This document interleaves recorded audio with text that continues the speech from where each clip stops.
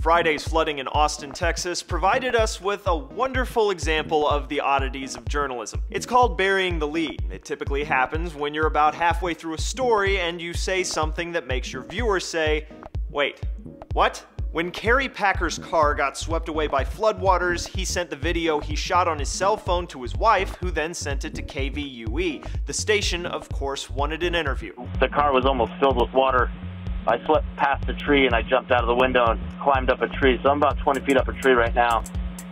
Kerry, uh, Wait, you're still in the tree?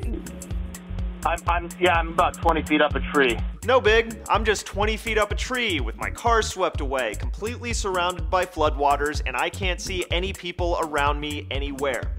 I'm fine. One of the station's reporters later periscoped this video of a helicopter trying to locate Packer, who ended up getting rescued after more than five hours in the tree. For the record now, he had called 911 before that KVUE interview. Flooding in Austin and San Antonio is especially severe right now, and record flooding hit Texas multiple times this year. At least two people have died in the flooding.